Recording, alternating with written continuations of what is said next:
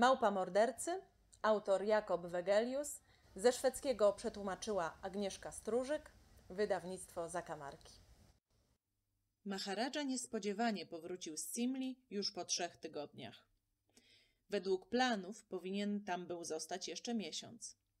Wszyscy w pałacu zachodzili w głowę, co się stało. A stało się to, że król brytyjski Jerzy V zakupił własny prywatny aeroplan.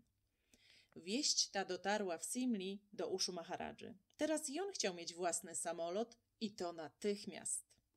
Zamówienie już zostało złożone i dotyczyło modelu DH-60G Gypsy Moth, wyprodukowanego przez de Havilland Aircraft Company pod Londynem.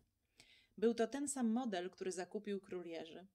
W pałacowych ogrodach nakazano niezwłocznie wybudować pas startowy i hangar. Na rozkaz Maharadży zwożono autobusami robotników z całego Bapuru. Pas i hangar powstały w niespełna miesiąc. Nagłe zainteresowanie Maharadży lataniem udzieliło się całemu dworowi. Samoloty i awiacja były na ustach wszystkich. W pałacu Sunahiri Bach nie rozmawiano praktycznie o niczym innym. Maharadża kazał uszyć sobie elegancki kombinezon lotniczy z najdelikatniejszej skóry jelenia i paradował w nim całymi dniami. Samolot dostarczył prosto z Anglii jeden z pilotów Royal Air Force. Pokonał odległość do Indii w nieco ponad tydzień z międzylądowaniami w Paryżu, Rzymie, Kairze, Bagdadzie i Karachi. Wraz z nim przyleciał mechanik z de Havilland Aircraft Company. Przywitanie w Bapurze było imponujące. Cały dwór i cała pałacowa służba stali wzdłuż pasa startowego, wymachując brytyjskimi chorągiewkami. Nowy hangar udekorowano kilometrami kwiatowych girland. Maharadża, ma się rozumieć, przywdział swój nowy kombinezon, a orkiestra państwowa zagrała marsz lotnictwa, który Maharadża kazał skomponować specjalnie na tę okazję. Gdy piękny, żółto-czerwony samolot zniżył się do lądowania i dotknął ziemi, rozległy się gromkie wiwaty. Stałam tuż przy pasie startowym i wymachiwałam chorągiewką równie entuzjastycznie, co cała reszta. Przez głowę przemknęło mi pytanie: ile czasu zająłby lot z Bapuru do Koczinu? Zaraz po wylądowaniu samolotu rozochocony Maharadża chciał osobiście odbyć próbny lot. Niestety nie pozwolono mu na to, ku jego wielkiemu rozczarowaniu.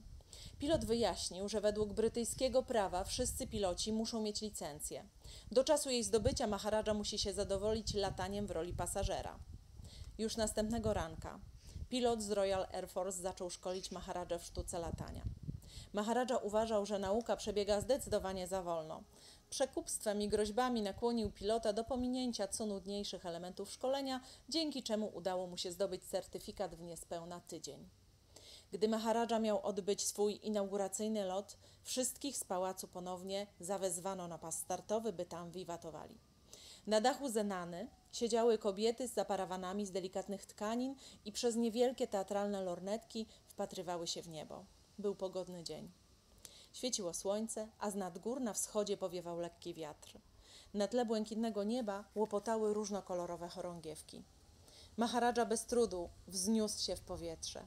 Potem wykonał ostry skręt, prawdopodobnie po to, by zatoczyć rundę honorową nad Zenaną. Samolot stracił wysokość i runął wprost na pałacową stajnię dla słoni. Owacje publiczności zamieniły się w okrzyki przerażenia. Pięćdziesiąt mieszkających w stajni słoni uszło z wypadku cało. Maharadża też. Jedynym poszkodowanym był pilot z Royal Air Force siedzący w kokpicie pasażera. Złamał sobie kciuk. Już następnego dnia opuścił pałac, by niezwłocznie udać się w drogę powrotną do Londynu. Tłumaczył się urazem palca, choć wszyscy raczej rozumieli, że tak naprawdę śmiertelnie bał się kolejnego lotu z Maharadżą. Mechanik z de Havila zdołał naprawić maszynę, po czym on zapragnął wrócić do Anglii. Maharadży udało się go nakłonić, by został, ale dopiero po wprowadzeniu do kontraktu zapisu, że pod żadnym pozorem nie można mu nakazać latania z Maharadżą. Wypadek nie odebrał Maharadży ochoty do kolejnych lotów.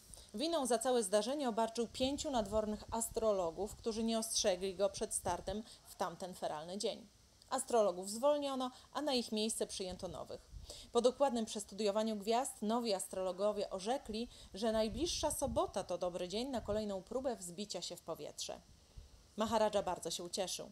W nagrodę obiecał, że każdy z astrologów będzie miał zaszczyt przelecieć się z nim samolotem. Nazajutrz astrologowie poinformowali, że najwyraźniej błędnie odczytali układ gwiazd. W istocie przez najbliższy rok nie będzie dnia, który nadawałby się na latanie. Maharadża rozgniewał się i odprawił również tych astrologów. Następnie rozkazał mechanikowi, by niezwłocznie przygotował maszynę do startu. Przywilej towarzyszenia Maharadży w fotelu pasażera przypadł jednemu z oficerów pałacowej gwardii. Drugi lot Maharadży był udany. Maharadża zdołał zarówno wznieść samolot w powietrze, jak i sprowadzić go ponownie na ziemię, nie uszkadzając ani maszyny, ani niczego innego. Choć niewiele brakowało, a rejs zakończyłby się w sadzawce z flamingami zamiast na pasie. Kiedy następnego dnia Maharadża znów szykował się do lotu, gwardzista źle się poczuł, więc nie mógł mu towarzyszyć. W zastępstwie Maharadża rozkazał Devanowi, Sardarowi Bahadurowi przygotować się do wycieczki w przestworza. Dewan błagał i apelował, by mu to zostało oszczędzone ze względu na podeszły wiek. Jednak Maharadża okazał się nie mieć litości.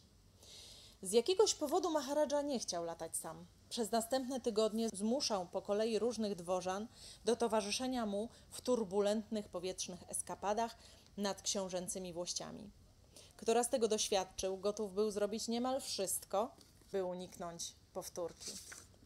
Pałacowi medycy mieli ręce pełne roboty z ministrami i oficerami, których nagle dopadały migreny, gorączka i bóle brzucha, kiedy tylko Maharadża wkładał swój kombinezon lotniczy z jeleniej skóry. Maharadży coraz bardziej drażnili jego strachliwi poddani. Pewnego dnia zgromadził cały dwór w sali Durbar. Czy to możliwe, że same z was mięczaki? zapytał. Czy doprawdy nie ma w tej sali nikogo, kto dobrowolnie z radością przyjąłby zaszczyt towarzyszenia mi w dzisiejszym popołudniowym locie? Zapadła kompletna cisza. Zakłócał ją jedynie stłumiony szmer, gdy zrobiłam dwa energiczne kroki w przód i uniosłam rękę. Gypsy Moth to dwumiejscowy dwupłatowiec z czterocylindrowym chłodzonym powietrzem silnikiem o mocy 98 koni mechanicznych. Znałam ten model, gdyż Chief interesuje się samolotami. Sama nigdy nie marzyłam o lataniu, dlatego zdziwiłam się, że tak bardzo spodobał mi się pierwszy lot z Maharadżą. Zaraz po wjeździe na pas startowy mój strach odpuścił. Dobrze na mnie działał miarowy, kojący odgłos silnika i podziwiałam porządną, ręczną robotę widoczną w najmniejszych elementach maszyny. Gdy samolot oderwał się od ziemi, poczułam miłe łaskotanie w brzuchu. Po zaledwie paru minutach znaleźliśmy się kilkaset metrów nad ziemią. Chłodny wiatr przyjemnie owiewał mi twarz. Z mojego miejsca w przednim kokpicie miałam dobry widok na wszystkie strony. Płaski krajobraz rozpływał się we mgle na horyzoncie. Domy wyglądały jak brązowe kostki cukru, a zagajniki jak kępy trawy. Czułam się tak, jakby wszystkie moje troski zostały na ziemi, gdzieś w dole, wśród tych małych rzeczy. Za sprawą samolotu w moim życiu na dworze nastąpił niespodziewany zwrot. Musiałam przyznać sama przed sobą, że naprawdę dobrze mi się wiodło. Lubiłam dbać o samolot i nieustannie czekałam na kolejny lot. Dni szybko mijały. Noce natomiast bardzo się dłużyły. Często leżałam, nie mogąc zasnąć, i rozmyślałam o moich przyjaciołach w Lizbonie. Wiedziałam, jak bardzo muszą się o mnie martwić. Głupio mi było, że kiedy oni tam zachodzą w głowę, co się ze mną dzieje, ja latam sobie z Maharadżą samolotem i dobrze się przy tym bawię. Przecież przyjechałam do Indii, żeby odnaleźć Alfonsa Moreau i uratować Chiefa, a nie dla rozrywki. Powoli zaczęłam obmyślać plan rezerwowy ukradnę samolot Maharadży i sama polecę do Koczinu.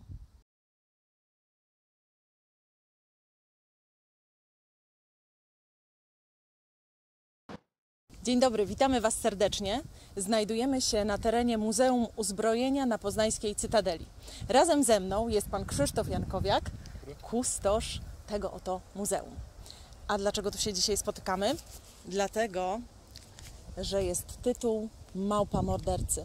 Jakob Wegelius jest autorem nowej książki wydawnictwa Zakamarki, a w tej książce jest dosyć dużo o lotnictwie, o awiacji i o samolotach podobnych do tego, który stoi za nami. Panie Krzysztofie, chciałam się dowiedzieć czegoś więcej o dwupłatowcach. Dobrze mówię, dwupłatowiec. Po co dwa płaty? Samoloty dwupłatowe e, mają większą powierzchnię nośną względem samolotów jednopłatowych. E, Ma to wady i zalety. Zaletą dwóch płatów jest to, że samolot, e, e, samolot jest bardziej zwrotny, e, zwrotny w powietrzu, szybciej wystartuje na krótszym odcinku pasa startowego i, za, i szybciej się zatrzyma lądując. To, że stawia większy opór powietrza jest, jest też wadą niestety. Chodzi w tym momencie o prędkość. Tego typu samoloty mogły maksymalnie osiągać prędkość 400 km na godzinę e, w przeciwieństwie do szybszych jednopłatowców. E, No właśnie samolot, e, który występuje w książce, którym lata nasza bohaterka e, gorylica Sally Jones razem z pilotem Maharadżą, jest nieco inny od tego dwupłatowca. Powstał w innym czasie, bo em, szacujemy, że to jest samolot Gypsy Moth, który powstał około 1928 roku i jest dużo, dużo mniejszy od tego.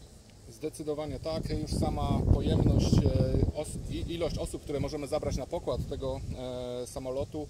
W wypadku Gypsy Moth e, są to dwie osoby, natomiast tutaj możemy oprócz załogi jeszcze ze sobą zabrać około 10 pasażerów. Tak więc już samo to wskazuje na wielkość, różnicę w gabarytach obu tych konstrukcji.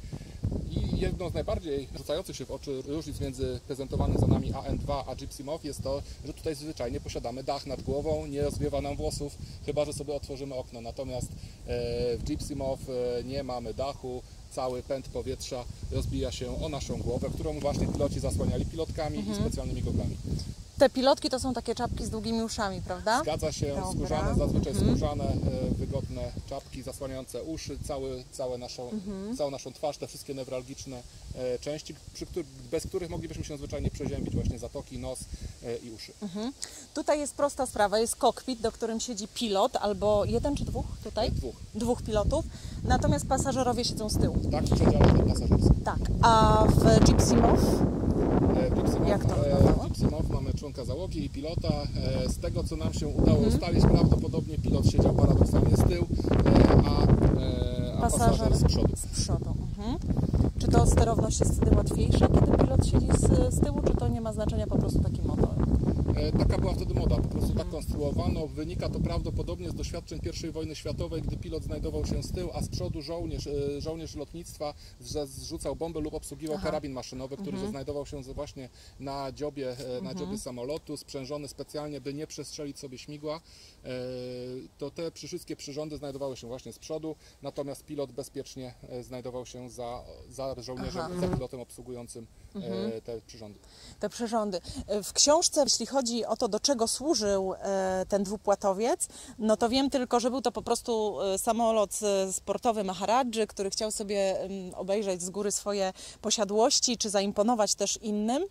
I to był samolot taki mały, lekki, sprawny i tak naprawdę no, tylko rekreacyjny. Ten samolot do czego służył? To jest samolot fachowo wielozadaniowy, Mhm. czyli już określa, że jego zadań możemy, e, zadań możemy mu przypisać bardzo wiele różnych. E, Tak naprawdę, mimo że jest to samolot wojskowy, to nie może służyć e, jako samolot bojowy. Nie możemy Aha. z niego prowadzić żadnych, żadnego ataku, nie możemy walczyć z innymi samolotami. Natomiast wielozadaniowość tego samolotu polega na tym, że s- służy, służył jako samolot do desantu, czyli do przeprowadzania skoków spadochronowych, Aha. zarówno wojskowych, jak i po dziś dzień e, na e, skoków spadochronowych cywilnych. Oprócz tego jest to samolot stricte transportowy. Możemy w nim transportować zarówno zaopatrzenie, żywność, e, jak i ludzi. E, Ludzi właśnie zarówno żołnierzy, wylądować i wy- wysadzić ich na lądzie. Możemy również ewakuować rannych. Jest specjalna możliwość zamontowania tutaj noszy i ran, e, drogą lotniczą można ewakuować rannych już na, do strefy bezpiecznej, do szpitali. Stąd właśnie wielozadaniowość z wykluczeniem niestety e, bojowości. Aha, dobra. To jeszcze chcę zapytać, e, z czego te samoloty są i były zbudowane? Prawdopodobnie była to konstrukcja płócienno-metalowa. Większość obszarów na samolocie była pokryta specjalnym płótnem impregnowanym i malowanym, e, by było jak najtwardsze, a jednocześnie lekkie. Aha. E, Ta technologia bardzo długo pozostawała w użyciu i również prezentowany za nami samolot AN2 chociażby ma płócienne skrzydła. Właśnie oba płaty skrzydeł e, są pokryte płótnem. Używanie płótna miało za zadanie minimalizować wagę tego samolotu, by mógł się łatwiej unieść w powietrzu. I z czasem dodawano elementy met- metalowe, obudowywano te samoloty, ich konstrukcje e, elementami metalowymi i też zazwyczaj aluminiowymi, ponieważ aluminium jest najlżejszym z metali. Czyli skrzydła też później były aluminiowe? Mo- Zdarzało się w innych konstrukcjach samolotów, jak i pozostałych prezentowanych w naszym muzeum. Może Państwo zwrócić, że one mają charakterystyczny srebrny odcień. Jest to właśnie aluminium, e, zarówno skrzydła, jak i całe poszycie jest już wykonane z metalu, ale są już to samoloty stricte wojskowe przeznaczone do walki.